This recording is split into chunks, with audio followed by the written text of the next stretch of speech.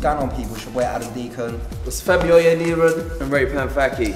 and you might have seen all three of us in, In the movie. Kidulthood. Now, basically, we're here today to help promote the movie um, Freestyle.